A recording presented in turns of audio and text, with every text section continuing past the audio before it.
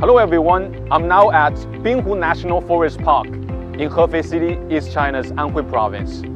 This is not just a normal park, it's actually an intelligent park where you can find different kinds of autonomous driving vehicles. Today, let's check it out together. We can find a tour bus here after we enter the park. If you look at it, it looks kind of futuristic, isn't it? Let's get on the vehicle and take a closer look. As you can see, there is no driving seat in here.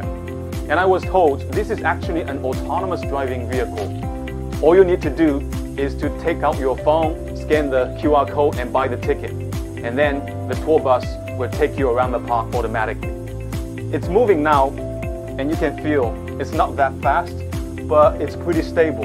And if you look at the screen, you can also monitor the operation of this vehicle, such as uh, its speed and also the passengers nearby. Super cool. 您好，请您简单介绍一下这个车的一些基本情况。呃，目前合肥滨湖公园共投入了五辆自动驾驶观光车，这种观光车可以承载八名乘客，然后运行的速度我们是设置在十到十五间，满电的情况下可以满足一天的运营。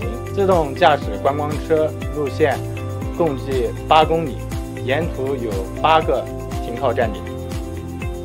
This is a moving vending machine which goes around the park automatically. If you wave at it, it'll stop immediately in front of you for you to buy whatever you want. Autonomous driving technology has not only made the trip more enjoyable for tourists, but also reduced the workload of staff members in the park. For example, the autonomous sweeper is designed to help clean the park according to the program. And the intelligent fire patroller can go around the park to detect potential fire risks, which are not easy for human beings to find. From the closed environment in the park to the city's open roads, autonomous driving has been used in many fields in Hefei City. And I'm sure we'll see this kind of technology more often in the future, and it'll be used in many more other fields to facilitate people's life and work